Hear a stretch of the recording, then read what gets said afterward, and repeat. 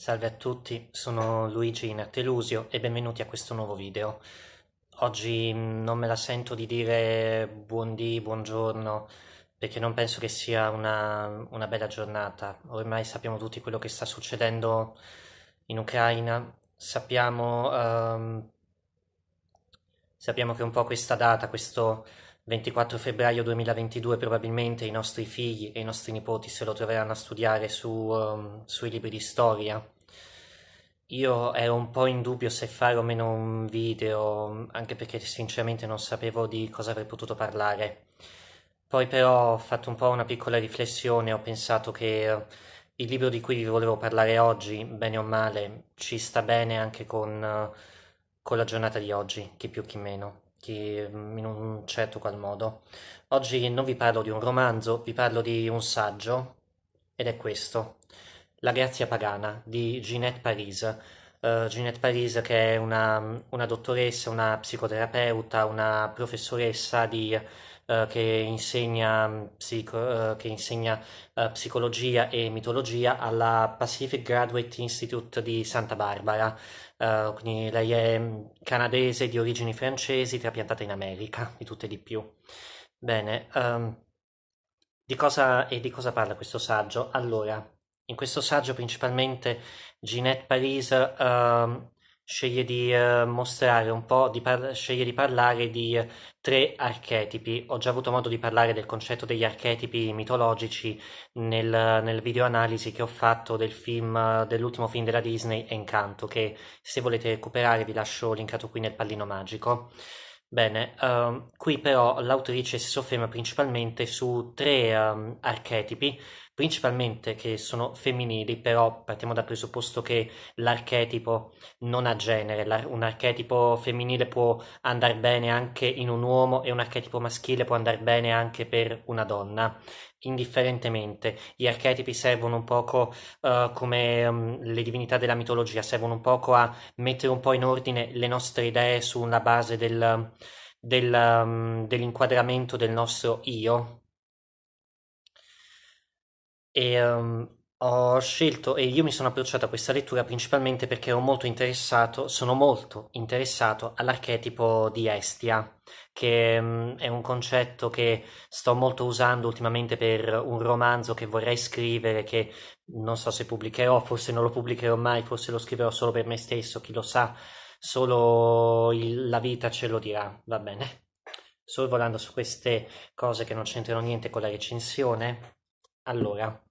quindi mi sono avvicinato a questa lettura principalmente perché volevo un approfondimento sull'archetipo di Estia e devo dire che sono rimasto piacevolmente coinvolto dall'intera opera in sé per sé, proprio dallo stile e dall'approccio che l'autrice dà a questo, a questo argomento, a questa tematica, che magari non è per tutti, se siete interessati più alla questione psicologica, ma anche alla questione sociologica o anche al concetto del ruolo della donna in senso più ampio o, più in, se- o in senso più stretto o, un, o, nel, o più che altro se vogliamo allargare un po' uh, ad ampio raggio al, alla condizione proprio dell'essere umano in sé per sé. L'autrice parla degli archetipi femminili usando proprio il concetto concetto del femminino sacro per parlare di una riscoperta della nuova eh, femminilità, sia esso sotto il punto di vista femminista che eh, semplicemente del ruolo della donna nel mondo, ma è un'analisi che noi possiamo ritrovare e, st- e la stessa autrice ce lo ricorda anche in molti aspetti universali, quindi coinvolgendo anche uh, la, il mondo maschile. Uh, il soggetto principale dell'opera, quella a cui è dedicato lo spazio maggiore, è la figura dell'archetipo di Artemide. Artemide che è la dea vergine della caccia, la dea della luna, la dea delle, uh, delle foreste, la dea della caccia, um, la dea pie- proprio della libertà in senso ampio, uh, a differenza di sua sorella Atena, che è, è sempre una figura vergine di guerriera e altro, ma è rinchiusa in una sfera mh, non maschile, non patriarcale, quanto più che altro uh, civile, sociale, quindi incastrata o comunque adattata all'interno del, della vita di tutti i giorni, Artemide fugge anche da questo inquadramento. Artemide è fatta per la natura, per la libertà, uh, per la rivoluzione. Oggi potremmo dire che... Um, la dea Artemide è quel tipo di donna uh, magari che si esprime in maniera in controtendenza, uh, che uh, non sottostà a quelli che sono un po' um, gli aspetti estetici che la società richiede da una donna, ovvero quello di essere strabella, strafiga, femminile, eccetera. È una, do- una, figura femminile che magari va anche contro questi dati di fatto, questi preconcetti del mondo femminile o che invece semplicemente li prende ma li fa solo per se stessa e in più c'è un grande ampio collegamento al mondo della natura, al nuovo concetto uh, dell'ambientalismo ben incarnato da Greta Thunberg che possiamo intenderla proprio come un vero e proprio archetipo di Artemide. C'è poi uh, l'archetipo di Estia, il capitolo dedicato ad Estia. Estia che è una figura molto particolare. Dovete sapere, vi faccio un po' piccolo, questa piccola lezioncina, che uh, femmin- gli archetipi femminili possono dividersi in uh, gli archetipi femminili vergini e gli archetipi femminili delle madri. Tra le vergini ci sono ovviamente Artemide, l'archetipo di Artemide già nominato e l'archetipo di Atena, mentre invece tra le dee madri o tra le dee non vergini troviamo gli archetipi di Era, che un po' rappresenta la donna inquadrata nel concetto matrimoniale, e uh, l'archetipo di, de, di, Demetra, che la, la, Demetra è la dea uh, atta al nutrimento, quindi possiamo vederla come un'immagine della figura femminile che uh, um, addetta al nutrimento delle nuove generazioni. Estia si pone uh, tra, come un ponte tra, due, tra, queste due categorie, perché Estia è una dea vergine, però al tempo stesso ha tutti gli aspetti di una dea della madre. Estia è la dea del focolare, la dea proprio uh, del centro della casa, è, la dea più venerata ambito, nell'ambito della religione uh, greca. a lei venivano posti i primi sacrifici della giornata, veniva mantenuto acceso il suo focolare perché non solo era una sua rappresentazione, ma era anche il senso stesso del calore, dell'unità della famiglia. Uh, per certi versi, come dice anche Ginette Paris, uh, al giorno d'oggi uh, Estia potrebbe essere la, la zia uh, nubile, non sposata, che però è molto materna con i suoi nipoti e, uh, e con i suoi pronipoti, uh, che, um, oppure anche la, la, nonna vedova che tiene sempre le caramelle Rossana nel, nella borsetta per, um, per, per, i nipotini e che fa un po' da collante per tutti i suoi figli. È un po' questo concetto qua. Estia rappresenta quell'unità della famiglia che può essere incarnata magari da una persona, non per forza una donna, anche da una figura, anche una figura maschile può rappresentare uh, un archetipo di Estia. Invece di una madre possiamo trovare un padre, invece di una nonna possiamo trovare un nonno, invece di una zia uno zio, eccetera, eccetera. Una figura magari che può sembrare solitaria in, cer- in un certo qual modo, ma che è un po' il cuore pulsante della famiglia, quello, quella figura che riesce un poco a, um, a, a comprendere, a prestare un orecchio a chi ne ha bisogno, in quel momento che riesce a distendere magari quei tantissimi mom- momenti di dissapori che abbiamo in famiglia. E poi infine concludiamo con un capitolo più breve sulla mnemosine, che non è proprio un archetipo quanto un concetto. Mnemosine uh, è la dea della memoria, e la memoria, sebbene in questo volume il concetto della memoria sembra un po' fuori tono, in realtà è molto importante perché la memoria è parte essenziale della nostra vita. Arriveremo a parlare su questo mio canale ampiamente del concetto della memoria proprio quest'anno quando inizierò ad affrontare in più video, in più video lezioni sulla figura di Marcel Proust che è proprio lo scrittore del, della memoria per antonomasia e della sua opera più grande che è Alla ricerca del tempo perduto, quindi avremo molto tempo per parlare, avremo molte occasioni per poter parlare del concetto della memoria e del ricordo. Mnemosine quindi è un po' il, è il concetto stesso della memoria che tutti quanti dobbiamo tenere bene a mente, perché se, la memoria, senza memoria non c'è, uh, pass- vuol dire che non c'è passato e senza passato non ci sono né presente né futuro. Io qui aprirei una grande disputa su quanto stanno facendo ad esempio in America da, da alcuni anni a questa parte con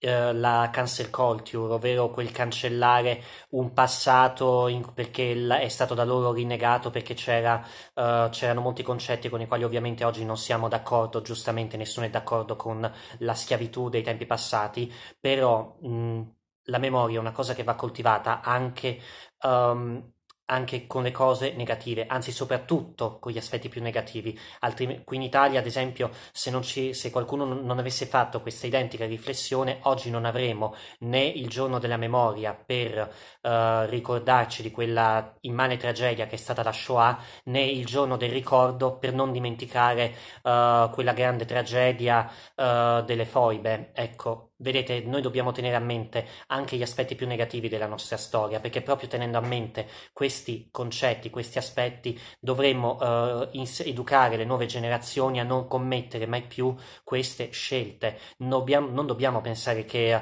la mnemosine, il ricordo, avveleni il nostro presente, il nostro passato, eh, spingendoci a ripetere gli errori del passato. No, mnemosine ci insegna a non ripetere quegli stessi errori, tenendoli vivi a mente, anche facendoci farci vergognare di questo, ma è una cosa che purtroppo sembra che la storia non impara mai e l'abbiamo visto proprio con quanto è successo alle 4 di mattina ora italiana di, di questo giorno, quando Putin ha sferrato il primo attacco sui primi bombardamenti nei territori dell'Ucraina,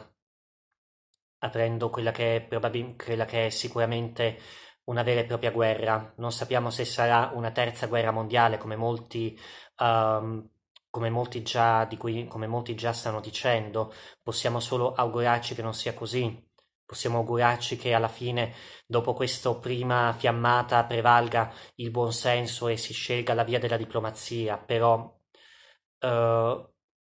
noi purtroppo possiamo soltanto dire il nostro no a quanto sta avvenendo. Possiamo fare appello a mnemosine per ricordare i tempi passati dove già abbiamo avuto il mondo dilaniato dalle guerre e ogni volta abbiamo sempre ripetuto che, ci, che, simili cose non capitino di nuovo. Possiamo ritrovare quel calore familiare che possa portare pace in noi, così come fa la dea Estia, che mantenendo vivo il fuoco all'interno delle nostre famiglie o all'interno delle nostre comunità o del nostro mondo intero. Non per niente, ragazzi, il centro della Terra è un enorme nucleo in fiamme, come se avessimo proprio Estia, che è il cuore pulsante del nostro pianeta, quindi di tutti noi, a mantenere vivo quel senso di unità, quel senso senso di calore che dovrebbe tenerci uniti tutti quanti, al di là del fatto che magari parliamo lingue differenti, uh, abbiamo fedi, e, confe- abbiamo fedi uh, e confessioni religiose differenti, abbiamo magari usi e, cos- e costumi differenti, però di base non siamo diversi, alla fine cos'è che vogliamo? Vorremmo tutti quanti solo la pace. Vorremmo ritrovare un poco quel senso di pace e di libertà che da parecchi anni ci manca. Vorremmo far uscire di nuovo l'Artemide che abbiamo ognuno di noi dentro, farla uscire fuori, correre nelle foreste uh, in una pazza corsa selvaggia, sentirci liberi finalmente, come non ci capita più da molti anni a questa parte, prima per la pandemia, adesso per la guerra. Come vedete anche per questo uh, ho capito che avevo pure la possibilità per intavolare un discorso uh, parlandovi di questo libro, parlandovi di un argomento che magari è più inerente alla psicologia, però va a toccare anche temi molto importanti come al, nell'ambito della sociologia e ricollegarci anche a quanto purtroppo sta avvenendo in questo mondo, in questo momento nel mondo. Io non so sinceramente cosa dire, anche perché non è molto il mio ambito di competenze parlare di attualità. Posso parlarne soltanto come ne possono, ne possono parlare tanti altri, come ne sincer- sicuramente parlare molto meglio voi che magari state guardando questo video, anzi se avete qualche riflessione al riguardo per tutto quello che sta avvenendo, se ne sentite il bisogno, sentitevi liberi di esprimervi qua giù nei commenti, ditemi magari ciò che vi sentite, uh, ciò che magari sperate per il futuro. E um, per quella per per quella parte di utenti che mi seguono, che vedo che uh, non sono italiani, ho visto che alcuni uh, vengono appunto da, da, dall'est Europa, mm, io vi, uh, vi, l'unica cosa che posso fare e starvi vicino col cuore. Io eh, penso continuamente a quanto sta succedendo, non riesco a smettere proprio di pensarci da, da stamattina e piacerebbe poter fare molto di più. Uh, io l'unica cosa, mi sento, lo so, mi sento sempre inutile perché vorrei, vorrei avere la capacità di poter fare molte più cose, di potermi rendere più utile. Sicuramente se mi capiterà l'occasione la vorrò cogliere al volo, vorrò coglierla sicuramente se ne avrò la possibilità. Per il momento io do tutta la mia vicinanza a chi in questo momento sta affrontando in maniera mm, più difficile questo momento perché magari si trova in quelle zone o peggio ancora ha dei parenti lì in quelle zone bombardate e, o chi ha semplicemente paura di quanto sta avvenendo. Io vi sono vicinissimo e uh, speriamo che uh, alla fine prevalga il, il buon senso in tutti, in chi uh, si ritrova a gestire queste azioni e um, speriamo solo che alla fine, come diceva Edoardo De Filippo, passi la nottata e ritorni sereno alla fine. Sentiamo tutti quanti il bisogno di della, della pace, della tranquillità, del focolare di Estia e della libertà di Artemide. Ne sentiamo tutti quanti il bisogno. Io vi abbraccio di cuore e uh, spero, come tutti quanti, che tutto quanto passi e che uh, si possa ritornare a, a respirare tranquillamente, finalmente in pace. Dal vostro Lusi è tutto e vi saluto. Ciao a tutti.